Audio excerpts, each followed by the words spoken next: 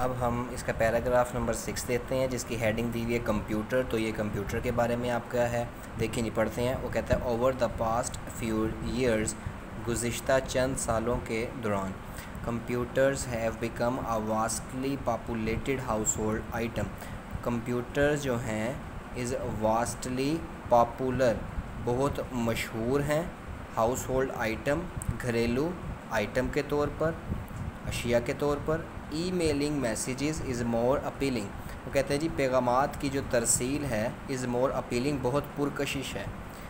Checking news ख़बरें सुनना weather मौसम देखना एंड स्पोर्ट्स विया इंटरनेट और खेलों को देखना विया इंटरनेट इंटरनेट के ज़रिए इज़ आ कन्वीनियंस बहुत आसान है। That many are taking advantages of जिससे बहुत से लोग फ़ायदा उठा रहे हैं। एडवांटेज का मतलब फ़ायदा उठाना।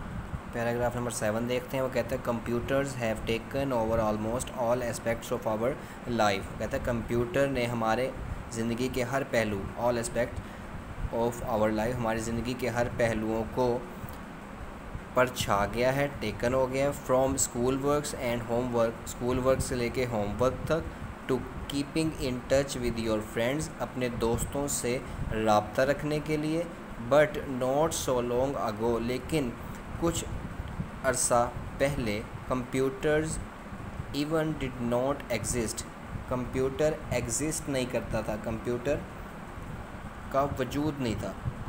पैराग्राफ नंबर एट देखते हैं। उसमें कहते हैं the first computer was invented in 1834 जो पहला कंप्यूटर था, वो ईजाद हुआ अठारह सौ चौंतीस में लॉन्ग बिफोर कहता है लॉन्ग बिफोर इनसे पहले कौन कौन सी चीज़ों से TV telephones and even electricity television, telephone और हती के बिजली से भी पहले, अठारह सौ चौंतीस में ईजाद हुआ।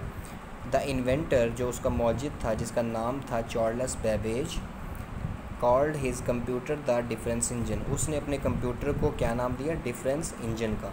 It was essentially a calculator. कहता है, ये बुनियादी तौर पर एक कैलकुलेटर था, and since there was no electricity. Since क्योंकि, चूँकि उस वक्त इलेक्ट्रिसिटी बिजली नहीं होती थी इट वाज मैकेनिकल और ये एक मैकेनिकल तरीके से टेक्निकी तरीके से काम करता था एंड वेरी कॉम्प्लिकेटेड और बहुत पेचीदा था।